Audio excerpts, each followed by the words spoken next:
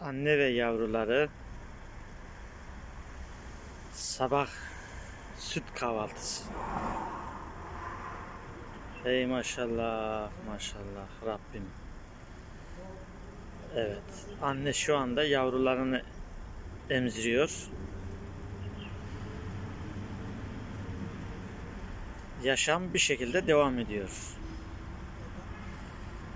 Doğaya sahip çıkalım.